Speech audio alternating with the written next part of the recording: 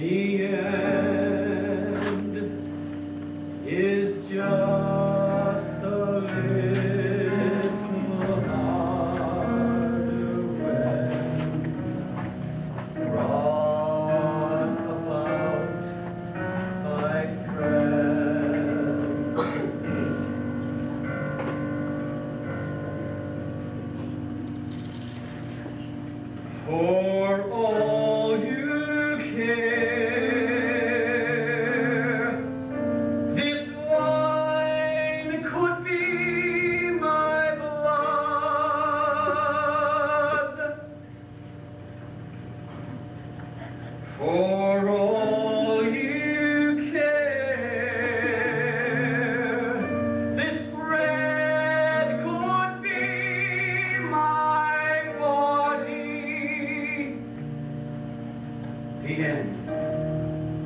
This is my blood you drink. This is my body you eat. If you would remember